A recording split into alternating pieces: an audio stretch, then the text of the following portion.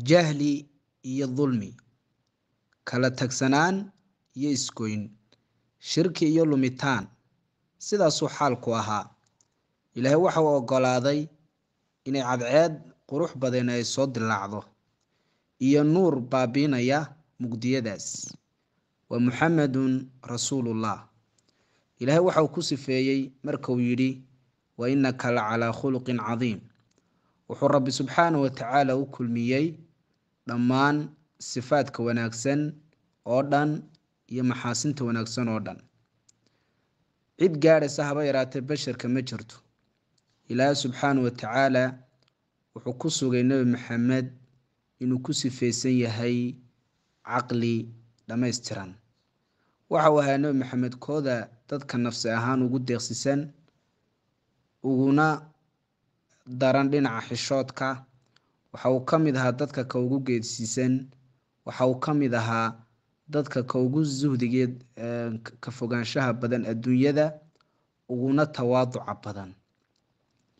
Ehelkiisa ayuu caawin jiray maradiisana waa tolan jiray naftiisana waa u shaqan jiray muslimiintana waa soo booqan jiray iyo kuwa aan muslimiintaba ahayn.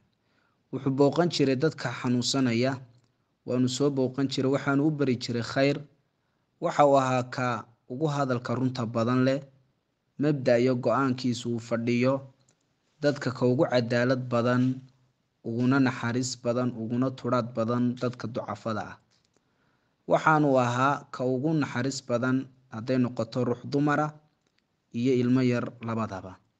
Waxa uu koobsaday naxariista oo dhan ilaa xayawaanaadka ayuu naxariisan jiray waxaa arrinta noocaasiya ku sifeeyey dadka wax sifeeya xataa aan ahayn kuwa muslimiinta ah.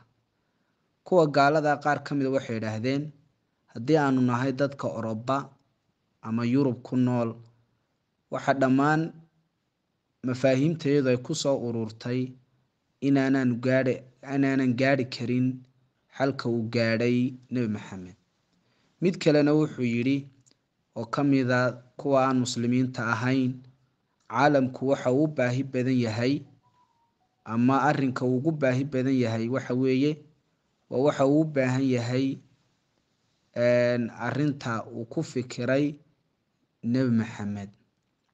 Mid iyaga ka mida wuxuu yidhi shareecada nebi maxamed waxay qabsan doontaa caqli caalamka oo dhan caqligooda iyo xikmadooda intaba shareecada nebi maxamed baa qabsan doonta. Nusradiisa ayaa ayaa ayaynu ka garanaynaa qudrada iyo makaanada uu leeyahay.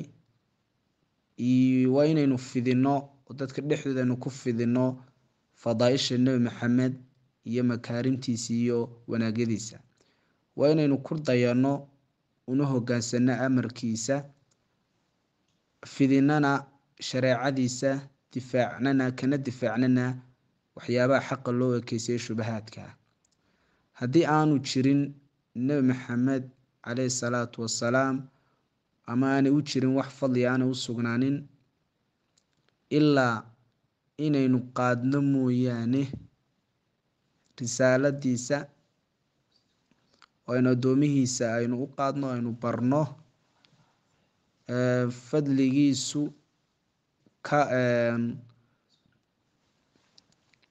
waxa uu nebi maxamed caleyhi salaatu wasalaam la noolaa noloshiisa ilaa uu gaadhay ama uu gaadhay khayrku ummadiisa. Arrinta noocaasiya muu ku kaaftoomin nebi maxamed ilaahay subxaana watacaala wuxuu weydiistay inuu u shafeeco qaado ummadiisa maalinta qiyaame. Ilaahayna waa uga dhaweeyey arrinka noocaasiya marka uu yidhi arsalnaaka ilaa raxmata lilcaalamiin yacni waanu ku soo dirnay nebi maxamedow